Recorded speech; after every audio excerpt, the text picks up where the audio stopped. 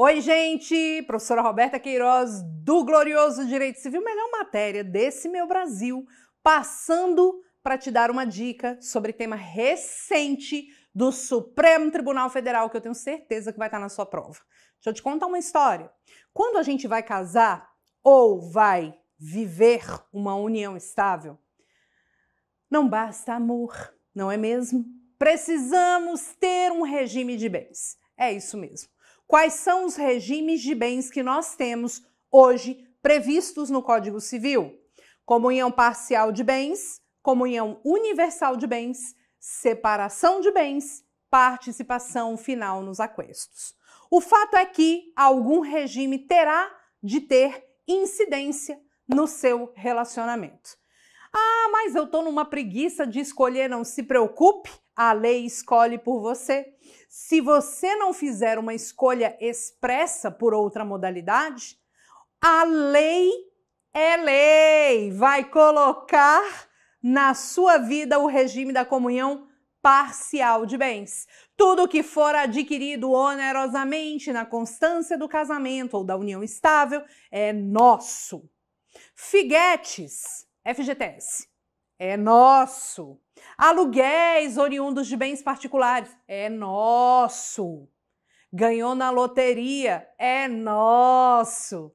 Agora, cuidado, cuidado, porque nós temos uma peculiaridade. Regime da separação obrigatória de bens. É aquele regime imposto pela lei. Professora, separação obrigatória de bens é imposto pela lei para quem, pelo amor de Deus? para os maiores de 70 anos, para quem casa mediante causa suspensiva, é aquelas causas do artigo 1523, e também para quem necessita do suprimento judicial para o casamento. Ah, eu quero me casar com 16 anos, meu pai não autorizou, recorre para o juiz, pede autorização, o juiz vai suprir regime da separação obrigatória de bens. Só que tinha um detalhe. Na causa suspensiva, depois que você resolver a pendenga, muda o regime. Na suprimento judicial para o casamento, depois que você completa a maioridade, muda o regime também judicialmente, porque é possível mudar o regime. Mas tinha um problema para o povo com mais de 70 anos, que inclusive essa regra se aplica à união estável também, súmula do STJ. Agora, 70 anos de idade 70 anos de idade. A pessoa não pode escolher livremente o regime de bens? Pô! Que coisa! Pode! O que, que o Supremo falou pra gente no início de 2024? Falou, gente, para tudo. A pessoa com mais de 70 anos pode escolher livremente o seu regime de bens.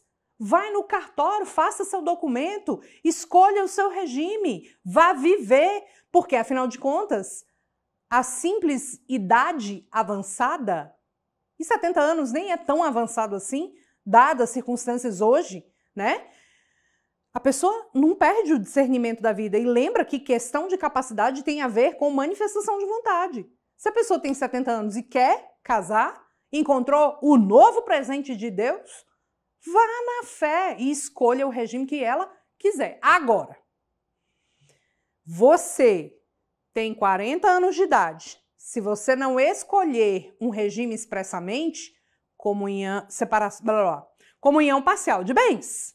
Agora, o maior de 70 anos, se não fizer a escolha por outro modelo de regime, a regra vai ser a separação obrigatória de bens, podendo oportunamente alterar o regime judicialmente, tá? Então o que, que mudou? A gente continua tendo o regime da separação de bens para os maiores de 70 anos que não promovam a escolha expressa de outro regime. Não é mais uma imposição imutável. Eu posso alterar. E é sobre. E viva o amor, não é mesmo? Um beijo para você. Siga o Grão AB em todas as redes sociais para receber sempre o melhor conteúdo para o seu estudo. Beijo.